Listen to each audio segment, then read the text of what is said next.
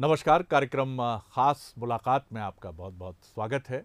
और ख़ास मुलाकात में आज हमारे साथ कांग्रेस के एक ऐसे वरिष्ठ नेता हैं, जिन्होंने कांग्रेस के साथ न सिर्फ़ एक लंबा सफ़र तय किया है, बल्कि इस लंबे सफ़र में चाहे मैं बात करूँ कांग्रेस की एक ऐसी लीडर जिनकी व्यक्तित्व की धमक न सिर्फ़ भारत बल्कि अंतर्राष्ट्रीय स्तर पर भी बहुत शिद्दत से महसूस की गई। इंदिरा गांधी जी की मैं बात कर रहा हूँ। उनके साथ भी उन्होंने काम किया। फिर इंदिरा जी के पुत्र और प्रधानमंत्री राजीव जी के साथ भी काम किया। और फिर जब नब्बे के दशक में सोनिया जी और उनके बाद राहुल गांधी जी का आगमन हुआ तो उन्होंने सोनिया जी और राहुल गांधी जी के साथ भी काम किया। कांग्रेस की राजनीति में वो शांति संतुलन। और बिना अपेक्षा के चरयवती चरयवती वाली मुद्रा के राजनेता रहे हैं। जिनकी संख्या मुझे शायद अब ये कहने में संकोच नहीं है कि बहुत कम है। वो निश्चित तौर पर एक सधे हुए और संतुलन वाले अंदाज में अपनी राजनीति को लेकर आगे बढ़ते रहे हैं। न इस लंबे काल में जो चार दशकों से भी अधिक फैला है न उन्होंने अपनी महत्वाकांक्षा का विस्तार किया, न उन्होंने कभी पार्टी के मामलों में या पार्टी से बाहर जाकर कभी हस्तक्षेप करने की कोशिश की और न मध्य प्रदेश के वरिष्ठतम नेताओं में शुमार होते हुए उन्होंने मध्य प्रदेश की राजनीति में कभी अपनी किसी इच्छा या अपनी महत्वाकांक्षा को बाधा के तौर पर प्रस्तुत किया। तो आज उनसे बात करना कई मायनों में बहुत महत्वपूर्ण होगा। कोरोना काल में हम बात कर रहे हैं तो उस पर तो मुख्य रूप से केंद्रित रहेंगे। लेकिन कुछ और प्रश्न भी होंगे। तो मुलाकात करिए पूर्व केंद्रीय मंत्री पूर्व सांसद और कांग्रेस के वरिष्ठतम नेता। सुरेश पचौरी जी से बहुत स्वागत करता हूँ। पचौरी जी आपका। जी। जी। आ, सबसे पहले एक चुनौतीपूर्ण समय है।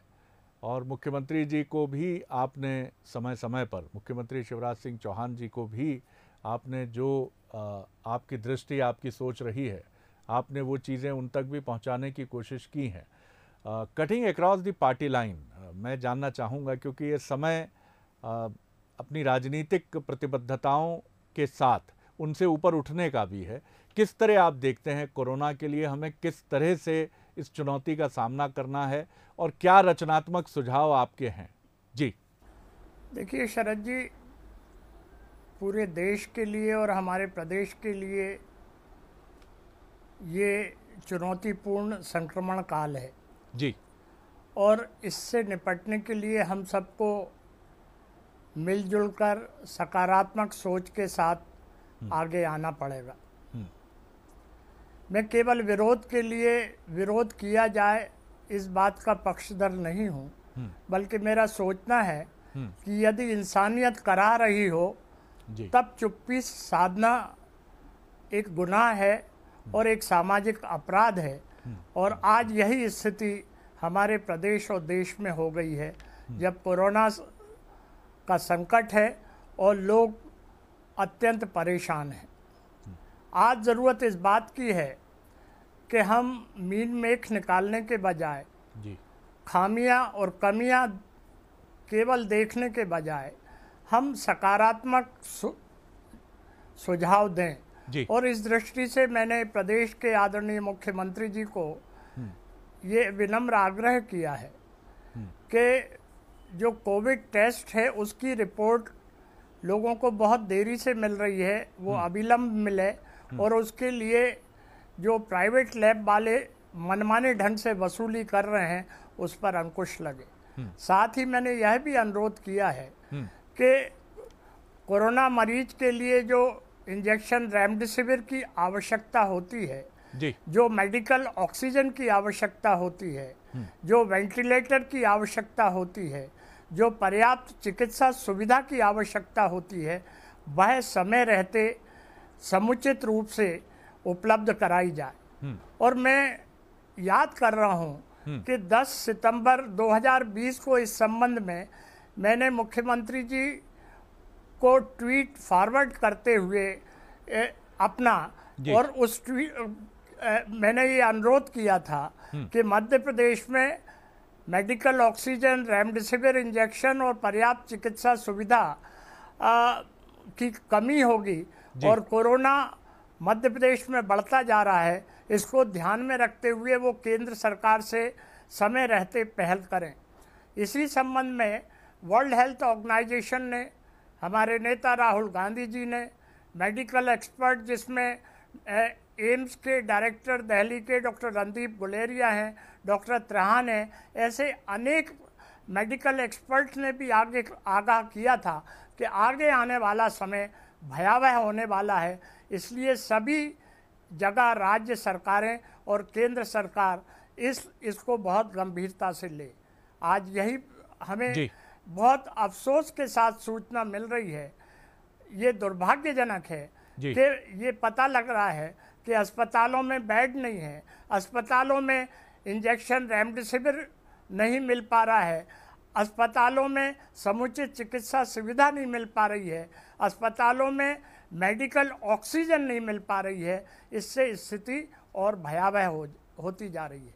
मैंने यह भी अनुरोध मुख्यमंत्री जी से किया है कि जी। मेडिक जो जो कोरोना ऐप के ज़रिए जो जानकारी दी जाए कि कहाँ कितने बेड उपलब्ध हैं किस अस्पताल में रेमडेसिविर कितना उपलब्ध है कितना मेडिकल ऑक्सीजन उपलब्ध है इसकी सही जानकारी दी जाए। मैं सही शब्द प्रयुक्त कर रहा हूँ। और ये जो हमारे रेमडेसिविर फार्मास्यूटिकल कंपनी मैन्युफैक्चरर हैं जी। बनाने वाले रेमडेसिविर इंजेक्शन बनाने वाली फार्मास्यूटिकल कंपनी है जो मेडिकल ऑक्सीजन बनाने वाली जो निर्माता कंपनी है उनसे मुख्यमंत्री जी कृपा पूर्वक सीधी बात करें जो उन्होंने अब शुरू किया है। हम्म, मैं शब्द अब प्रयुक्त कर रहा हूँ। जी जी साथ ही जी, केंद्र सरकार से के ज़रिए भी इन, इनसे आग्रह किया जाए कि मध्य प्रदेश को वो समुचित मात्रा में ये सारी चीज़ें उपलब्ध कराएँ।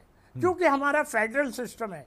यदि कोई राज्य मना करता है और केंद्र सरकार इस बात के लिए पहल करती है तो ये आवश्यक हो जाता है कि वो सारी जो चीज़ें हैं चाहे वो इंजेक्शन हो चाहे ऑक्सीजन हो चाहे वेंटिलेटर हो चाहे अन्य मेडिकल सुविधाएँ हैं वो उपलब्ध कराई जाना चाहिए। तो मैं ये निवेदन करना चाहता हूँ कि हम इस संक्रमण काल से निपटने के लिए मिलजुल कर आगे आए चाहे हम विरोधी दल के हों चाहे सत्तारूढ़ दल के हों। और मुझे अच्छा लगा जब मुख्यमंत्री जी ने कल राज्य के वासियों के नाम संदेश दिया तो उन्होंने ये स्वीकार किया कि हम अब बेहतर इंतज़ाम करने की कोशिश कर रहे हैं। हम पर्याप्त ये रेमडेसिविर इंजेक्शन हो ऑक्सीजन हो ये इंतज़ाम में लगे ये उनकी स्वीकारोक्ति है।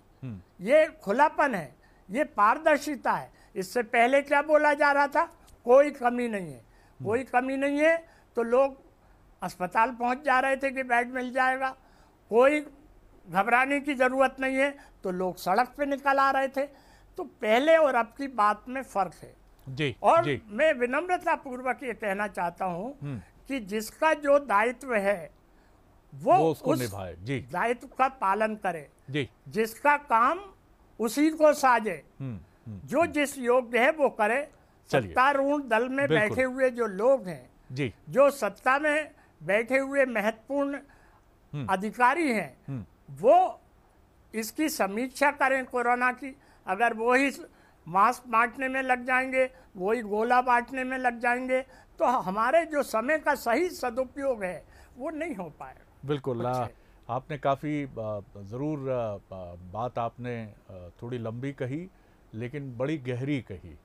और इसमें जो महत्वपूर्ण बात हमें लगी वो महत्वपूर्ण बात ये लगी कि आपने जो भी बातें की उसका बहुत बड़ा पक्ष जो रहा है वो कंस्ट्रक्टिव सजेशंस का है। आ, जिसकी ज़रूरत है हमें कि अपने निहित राजनीतिक स्वार्थों से ऊपर उठकर हम आगे बढ़ें। पचौरे साहब आप एक बहुत सिंसियर पॉलिटिशियन के तौर पर रहे हैं देखे जाते हैं और पार्लियामेंट में भी आपकी इमेज एक ऐसे ही राजनेता की रही है। आ, क्या आपको नहीं लगता कि ये भी बड़ा अनफॉर्चुनेट पार्ट है कि देश में पाँच राज्यों के चुनाव हुए मध्य प्रदेश में भी दमोह का उपचुनाव हुआ, लेकिन इस पर कोई डिबेट पॉलिटिशियंस की तरफ़ से नहीं हुई। आपसे पहले हमने बात की भूपेश बघेल जी से, उन्होंने इसको बहुत ईमानदारी से स्वीकार किया, जो हमें भी अच्छा लगा। उन्होंने कहा कि पाँच राज्यों के चुनाव में मैं भी गया, लेकिन मैंने ये नहीं कहा कि रैलियाँ रोक, रोकी जाएँ। राहुल गांधी जी ने अभी ज़रूर अपनी सारी रैलियाँ निरस्त की हैं। क्या हम एक इतने बड़े डेमोक्रेटिक कंट्री हैं, दुनिया के सबसे बड़े लोकतंत्र हैं? हमारे भीतर इतना साहस भी होना चाहिए कि सारे राजनीतिक दल मिलकर जाते निर्वाचन आयोग के साहब आगे बढ़ाइए चुनाव। अभी ज़रूरत नहीं है। जी। जी, आपने बहुत बहुत अच्छी बात उठाई है। मेरा अपना व्यक्तिगत स्तर पर यह सोचना है कि सारे राजनीतिक पार्टियों को मिलजुल कर इस दिशा में पहल करनी चाहिए थी हम्म। कि रैलियों वगैरह से वो अपने आप को हम्म। दूर रखते। हम्म। देर आयत दुरुस्त आयत चुनाव आयोग ने एक राजनीतिक पार्टियों की बैठक बुलाई। मैं कोई ये कॉन्स्टिट्यूशनल अथॉरिटी है चुनाव आयोग उस पर टिप्पणी नहीं करना चाहूँगा। लेकिन इस दिशा में सही समय पर सही निर्णय लेने की ज़रूरत थी। हमारे नेता राहुल गांधी जी ने सही और साहसिक निर्णय लिया। उसकी भी लोग एक अलग ढंग से राजनीतिक उपहास उड़ा रहे हैं लेकिन इन चीज़ों की चिंता नहीं करना चाहिए। उन्होंने जो फैसला लिया रैलियों में भाग नहीं लेने का वो सही फैसला लिया। हम्म। अब उसमें जो दूसरी बात कही जा रही है तो मैं इसके दूसरे पक्ष में कह रहा हूँ कि हमारे प्रदेश के मुख्यमंत्री शिवराज सिंह जी ने पंद्रह तारीख को दमोह का कार्यक्रम अपना कैंसिल किया वो भी सही किया। तो अगर उस पर हम कटाक्ष करें तो फिर क्या बात होगी? इसलिए जो सही निर्णय लिया जाता है उसको सराहना चाहिए और उस पर अमल होना चाहिए। बड़ी सीधी सीधी बात है शरद जी। जी। कि हम ये सब काहे के लिए कर रहे हैं? हम्म। जनता के वोट के लिए कर रहे हैं। जब हम्म। जनता ही नहीं बचेगी तो हम किसका वोट लेंगे? जी, हम जी, ये सब समय काहे में लगा रहे हैं? हम्म। ये समय जो है कोरोना के प्रबंधन में लगाने का समय है। ये चुनाव प्रबंधन में आ, हम समय लगाएँ। ये ये ये इस बात का तकाजा नहीं है। हमारी वरीयता होना चाहिए कि चुनाव प्रबंधन के बजाय हम कोरोना का प्रबंधन करें। अनफॉर्चुनेटली ऐसा नहीं हो पाया। जी ये बहुत इंपॉर्टेंट बात है। बिल्कुल ठीक बात है कि ये समय कोरोना प्रबंधन का है। पचौरी साहब, मैं एक थोड़े भविष्य की, एक सवाल की तरफ़ मैं बात कर रहा हूँ। तीसरी लहर भी निश्चित तौर पर आ सकती है। इसको रूल आउट हम नहीं कर सकते, इसको खारिज नहीं किया जा सकता। क्या ये बिल्कुल सही वक्त नहीं है कि केंद्र स्तर पर और राज्यों के स्तर पर पक्ष और विपक्ष, दोनों महत्वपूर्ण दलों को अलग अलग राज्यों में जो पक्ष और विपक्ष के दल हैं, उनको मिल बैठकर क्योंकि 140 करोड़ की आबादी के इस देश में अब हम तीसरी लहर में जैसे हम दूसरी लहर में डगमगा गए कहीं ना कहीं हमारी कमज़ोरी थी जिसकी वजह से ऐसा हुआ। हम तैयारी नहीं कर पाए लोगों की लापरवाहियाँ जिम्मेदार थी। तीसरी लहर के लिए हमारी मज़बूत तैयारी की नींव अभी से रखी जानी चाहिए। शरद जी आप स्वयं सौभाग्य से इस क्राइसिस मैनेजमेंट कमेटी में है। आपको इनपुट मिल रहा होगा। कि आगे आने वाला समय कितना कठिन समय है और ये समय सरकार के लिए एक परीक्षा की घड़ी है हम्म। न केवल सरकार के लिए बल्कि राजनीतिक दलों के लिए भी सामाजिक संस्थाओं के लिए भी हम्म। और मेडिकल फैकल्टी के लिए भी हम्म। इसके लिए हम सबको मिलजुल कर विचार करना पड़ेगा व्यापक दृष्टि से तैयारी सही समय पे करना होगी डॉक्टर मनमोहन सिंह जी ने जो अपने लेटर में कल उल्लेख किया है। कि हम एडवांस प्रिपरेशन करें हम्म। इस क्राइसिस से निपटने के लिए जी और मैं वही निवेदन मुख्यमंत्री जी से भी करना चाहता हूँ प्रधान पूर्व प्रधानमंत्री ने तो प्रधानमंत्री से छः माह की एडवांस प्रिपरेशन की बात कही है मैं अपने प्रदेश के मुख्यमंत्री जी से विनम्र आग्रह करना चाहूँगा कम से कम तीन महीने का एडवांस एक्शन प्लान बनाए। उन्होंने प्रदेश की जनता के नाम संदेश में स्वीकार किया। कि फ़र्स्ट वीक ऑफ़ अप्रैल में लगभग 131 जो है वो वो 131 मैट्रिक टन ऑक्सीजन की ज़रूरत हमारे पास जो है आपूर्ति की स्थिति थी और अब 444 हो गई है जो बाद में और बढ़ेगी। मतलब अप्रैल तक में 131 मैट्रिक टन थी। अब आप अंदाज करिए इसके अलावा लगभग इक्कीस हज़ार बेड की उस समय हमारे पास जो है व्यवस्था थी जो अब बढ़कर चालीस हज़ार से ऊपर और तीस अप्रैल तक पचास हज़ार से ऊपर हो जाएगी। ये हम्म। मुख्यमंत्री जी स्वयं कबूल कर रहे हैं। हम्म। मेरा उनसे गुजारिश ये है कि आगे आने वाले तीन महीने में कितने बेड की ज़रूरत होगी हम्म। कितने रेमडेसिविर इंजेक्शन की ज़रूरत होगी बिल्कुल ठीक। कितनी ऑक्सीजन की ज़रूरत होगी वो हमें अभी से इंतज़ाम करना पड़ेगा। ऑक्सीजन लाने के लिए हमें आवागमन के साधन उपलब्ध कराने की अभी से आवश्यकता की पूर्ति करना पड़ेगी। साथ ही साथ ये जो भी ज़रूरत पड़ने की आगे संभावना है वो देखना पड़ेगी। हम्म। बाबई में ऑक्सीजन प्लांट लगाने की घोषणा दिसंबर माह में की गई थी। हम्म। लगभग 200 मैट्रिक टन का ऑक्सीजन प्लांट लगना था। हम्म। उसमें 125 करोड़ रुपए का निवेश होना था। अभी तक वहाँ की बाउंड्री वॉल नहीं बनी। अब मुख्यमंत्री जी ने कृपा पूर्वक सैतीस जिला मुख्यालयों पे ऑक्सीजन प्लांट लगाने की बात की है। उसकी समय सीमा तय हो। हम्म, मेरा हम्म। ये निवेदन है हम्म। कि जो भी हम कार्य योजना बनाए एक्शन प्लान बनाए वो टाइम बाउंड होना चाहिए समयबद्ध होना चाहिए और इसके लिए ज़िम्मेदारी तय होना चाहिए। जो इस ज़िम्मेदारी को फुलफिल ना करे उसकी अकाउंटेबिलिटी तय करना चाहिए। तब लोगों को लगेगा कोरी बातें करने से काम नहीं चलेगा हमें इम्प्लीमेंटेशन करना पड़ेगा। जी। तो आगे की तैयारी जो आपने तीसरी लहर की करी इसके लिए मेडिकल स्पेशलिस्ट ने बायोटेक स्पेशलिस्ट ने हमें आगाह अभी भी कर रहे हैं। तो हम्म। हमारे देश में ये ज़रूरत है। प्रधानमंत्री जी ने ये फैसला लिया है कि विदेश से अब वो मेडिकल ऑक्सीजन बुलाएँगे। ये फैसला देर में लिया गया लेकिन दुरुस्त लिया गया। हम्म। प्रधानमंत्री जी ने फैसला लिया है कि अब हम जो बाहर अपनी देश में बनने वाली वैक्सीन है कोरोना की वो वहाँ नहीं भेजेंगे फैसला देर में लिया गया लेकिन दुरुस्त लिया गया हम्म। ऐसा ही हमारे मध्य प्रदेश में जो फार्मास्यूटिकल मैन्युफैक्चरिंग कंपनीज़ हैं उनसे मध्य प्रदेश के मुख्यमंत्री जी सीधी बात करें आग्रह करें जो इन्होंने पिछले ए, कुछ दिनों से प्रारंभ की है और हम्म। साथ ही सेंट्रल गवर्नमेंट के ज़रिए चाहे वो हेल्थ डिपार्टमेंट हो चाहे केमिकल फर्टिलाइज़र डिपार्टमेंट हो, चाहे प्राइम मिनिस्टर ऑफ़िस हो, उसके ज़रिए इन कंसर्न कंपनीज़ से ऑक्सीजन और इंजेक्शन दिलाने की व्यवस्था करने के लिए हमारे प्रदेश सरकार को अनुरोध करना चाहिए। जी पचर साहब, एक और प्रश्न की तरफ़ मैं आपका ध्यान चाहूँगा।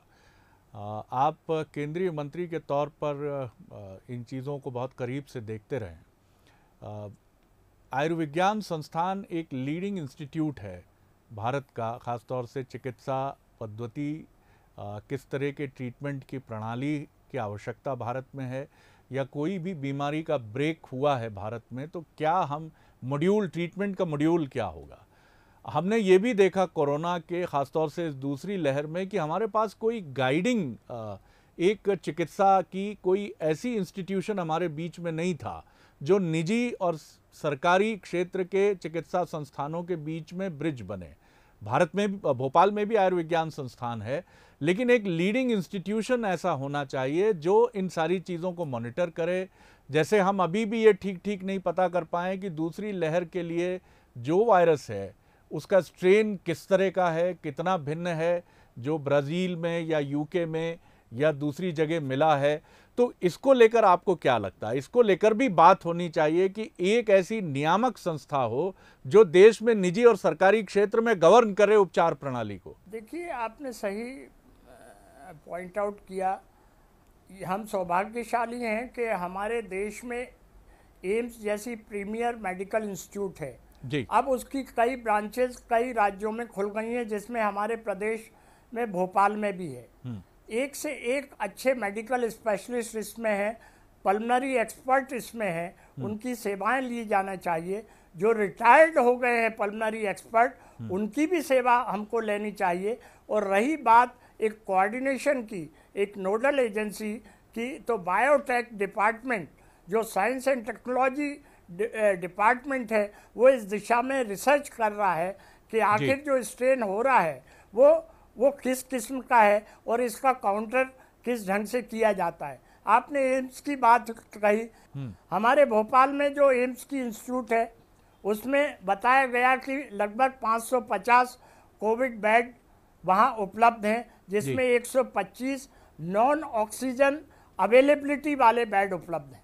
हम्म, जब वहाँ मरीज़ जाते हैं तो बता दिया जाता है कि अब ये काम मेडिकल सुप्रिटेंडेंट का हो गया है। तो भाई किसी न किसी का कोऑर्डिनेशन का तो काम है। Director office medical superintendent office को ही तो फ़ोन करके जो मरीज़ गया है उसका व्यवस्था करने का इंतज़ाम कर सकता है। इतना कह के फ़ोन रख दिया जाता है। इसी प्रकार अन्य अस्पतालों में भी यही स्थिति है कि हमारे पास इंजेक्शन नहीं है। इसके लिए एडमिनिस्ट्रेशन के द्वारा इंजेक्शन हमें प्रोवाइड किया जाए। तो ये जो पर, परफेक्ट कोऑर्डिनेशन होना चाहिए। जो। नोडल एजेंसी की तरह तरफ़ आपने इशारा किया है वो होना चाहिए वो कमी है।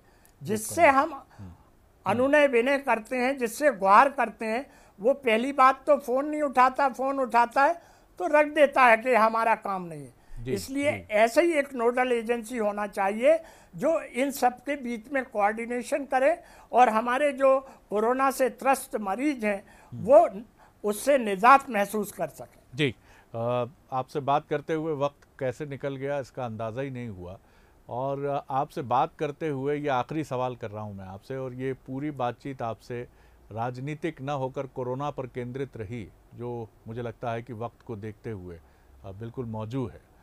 पचौरी साहब, आपसे पूरी बातचीत के दौरान आपने जो भी बातें कही हैं, उनमें सुझाव हैं एक विपक्षी दल के प्रमुख नेता के नाते कंस्ट्रक्टिव सुझाव हैं। सत्ताधारी दल के प्रति जहाँ आलोचनात्मक सुझाव का भाव है वो भी मैंने देखा और जहाँ आपको लगा कि ये बात ठीक हुई है उस बात को आपने ठीक भी कहा।